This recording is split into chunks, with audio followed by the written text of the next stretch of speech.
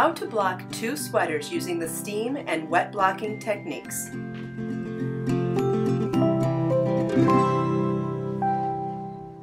Hello to anyone who is joining me this morning. I am going to show you how to block these two sweaters in two different techniques. This one I'm going to wet block and this one I'm going to steam block. So I've got my iron set uh, full of water and set on steam, hot and ready to go. I've also got a big bowl and a pitcher of water and a pot of my Rapture all natural, oops, all natural delicate wash. And this is the actual item that comes with every yarn purchase.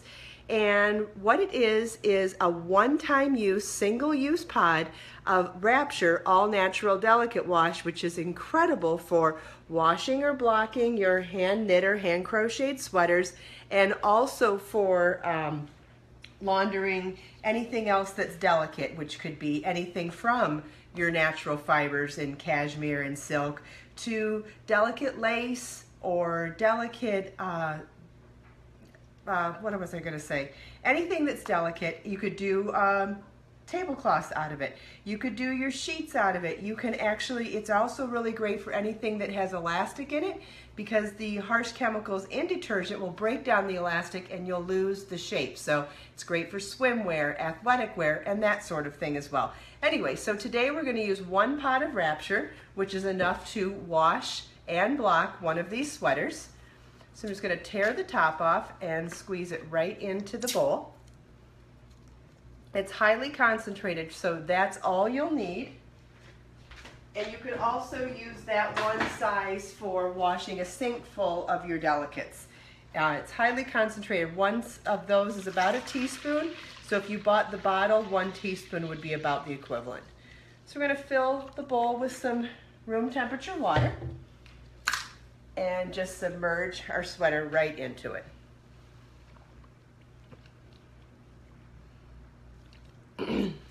so we'll let that sweater sit for a few minutes. And while we're doing that, we'll get started on our second sweater that we're going to steam block. We've got our iron full of water and set on the hottest setting for steam. And I'm going to set out a towel for working on.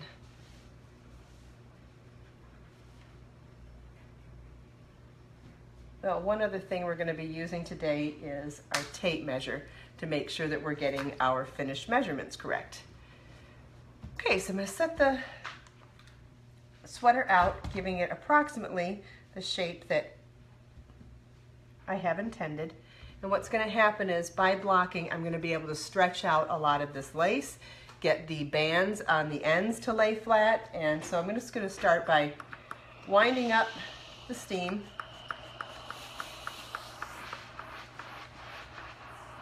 and just gently getting the steam on the sweater.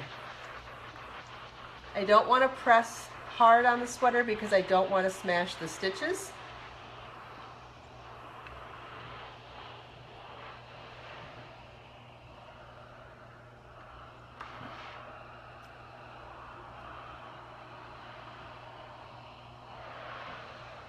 And we're going to do this back and forth in steps. So I've got some steam on it now, so now I can come back in and stretch it out a little bit. In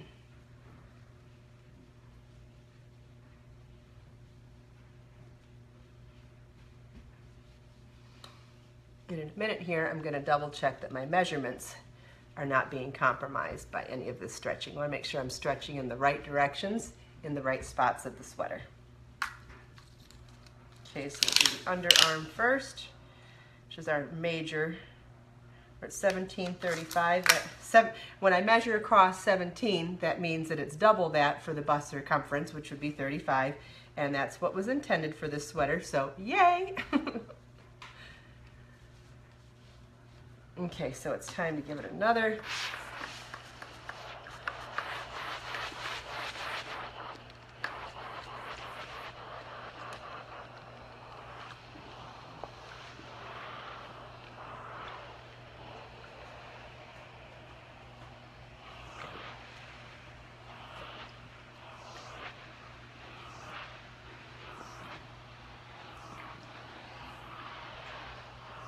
There's no right or wrong technique for blocking a garment. You can use the steam blocking technique like I'm using. You can do a mist blocking, which is putting water in a spray bottle and just spraying uh, your garment, or the wet blocking, which I'll show you next.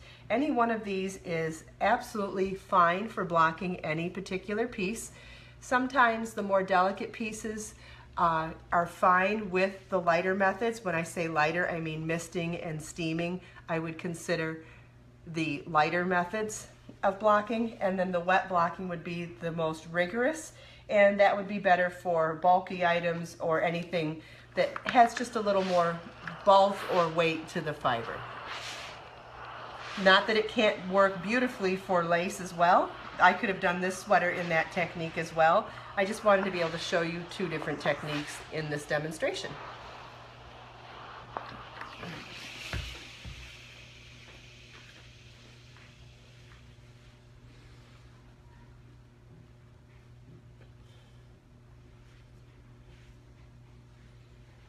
Okay, and if you were worried about how this was going to stay when it's blocked, you could definitely pin the pieces down.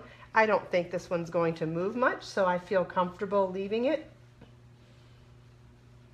And what I'm going to do is give it one more quick steam, and then I'm going to lay it, just leave it flat to dry. and on a piece that's steam blocked, it really doesn't take much time for it to dry either. So this is a really quick method.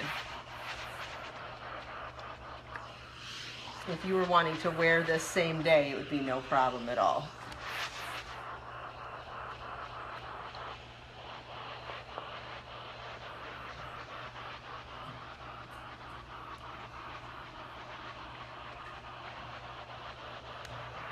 Okay. So I'm just to roll this into the towel so I can move it.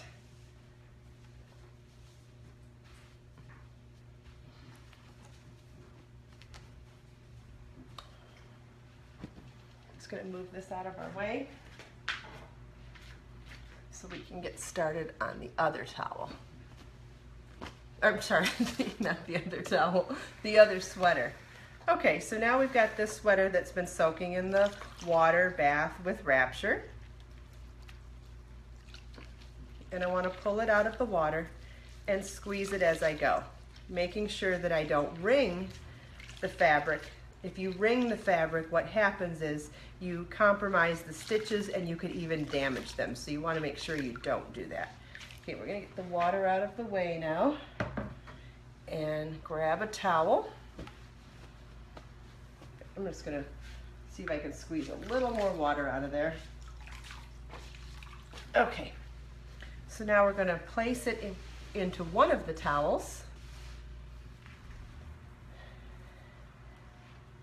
Like that.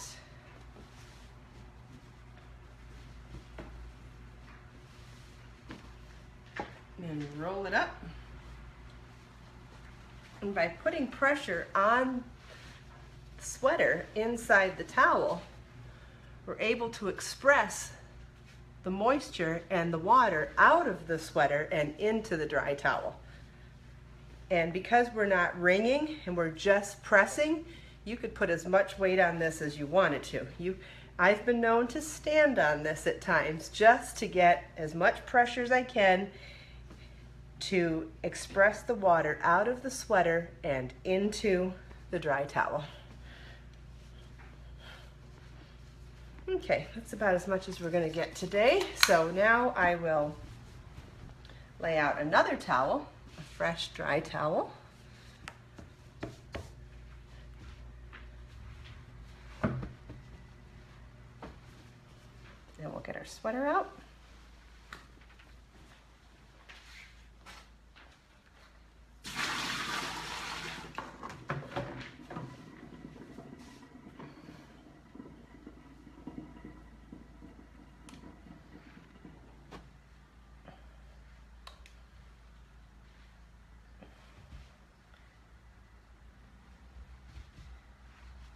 And we're going to start playing around with it to get our finished measurements. And I'm just going to start by eyeballing it and then I'll grab my tape measure.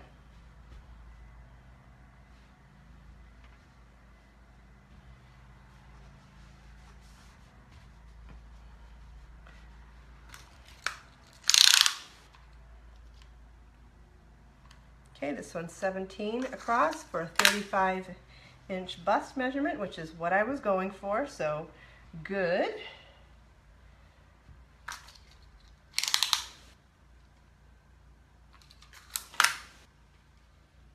Okay, this one needed to be eight. So I'm going to pull it in this direction so it can dry. There we go. Now we're at eight. Because as you, when you pull in this direction, you shorten in this direction. When you pull in this direction, you shorten in this direction. So you want to just make sure that you're doing it evenly to not compromise any of your dimensions. Now this is a piece that I'm designing, but I do have finished measurements in mind. If you're following a pattern, you'll already have your finished measurements written, so you want to make sure that you're keeping your piece to the finished measurements. If you're having trouble with it staying in place, you could pin along the sides and the bottom, the entire perimeter. That's a great way to hold it in place while it dries. Now this type of piece, because it's a lot um, more wet than the other piece was, we're going to let it sit for a little bit longer to dry. Uh, getting it in the sun would help. Getting it under a fan will help. If you have a ceiling fan, that's a great way to get things to dry quicker, or even a stand-up oscillating fan. Anyway, either way, they help tremendously in getting uh, blocking pieces to dry. I think I see a question. You're new to blocking projects and greatly appreciate the videos. Good, I'm glad, Aaron. Question though, when you steam block that first sweater, won't it make a crease when you're folded it over in the towel? Yes, I, I just was doing that to move it out of the way for the video. I'm going to lay it out flat again. Um, I want to make sure that it blocks completely flat. So that's a great question. That was just to get it out of the view of the camera so that we could start this one. I will show, now that this one's ready to sit out, I will bring that one back so that they can dry next to each other.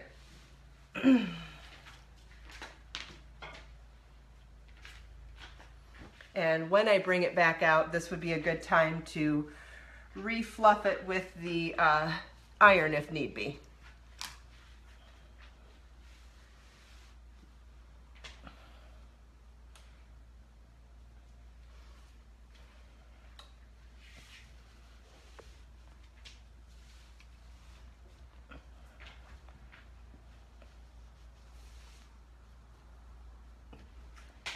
I don't see any major kinks, but I'll just give it a, a once over anyways, just to be sure. Whoops.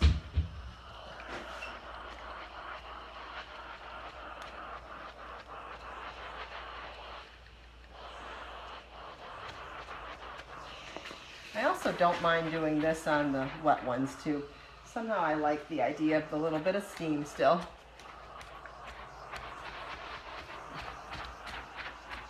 Okay, so now I'm going to get these under a fan. And if you put them under a fan, you could actually get even this one dry in one day. Um, this one will be dry within the hour. This one could be a day or two depending on the humidity and temperature in your area and also the amount of moving air. So getting it under a fan would be tremendously helpful. If you have any questions, please leave them in the comments. Uh, whether I watch this live or in playback, I will get notifications of your questions and I'm happy to help you learn how to block sweaters in any way that I can. Thanks for watching today. Please subscribe to my channel for more videos.